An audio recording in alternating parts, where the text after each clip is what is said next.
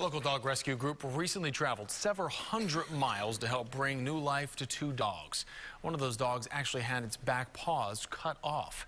Our Brad Davis has the story tonight from Sarasota and their new lease on life.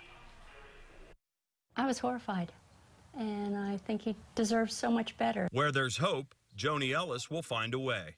Come on, sweetheart. This is Fabio. He's got two stumps for back legs. Runner. Good boy. Good. Fabio's legs had been cut off just above the paw joint. I actually think they were probably tied off with some type of tying mechanism and hacked off with a machete. Ellis of Florida Poodle Rescue went to Miami to rescue four year old Fabio and six year old Lady, who suffers from cataracts and is nearly blind after the two dogs were dropped off together at a shelter. The story was that his feet were cut off because he was trying to be an escape artist and climb a chain link fence. And if that's the worst he ever did, I think the punishment was certainly more than his crime.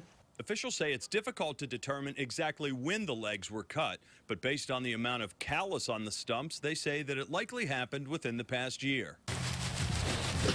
Although Fabio and Lady aren't poodles, Ellis says that's okay. It wasn't his fault he wasn't born a poodle, but we're going to make sure the rest of his life is everything that he ever deserved. Florida Poodle Rescue would like to see the pair of loving dogs go to a good home. This dog is a happy dog and will love you despite his lack of back legs.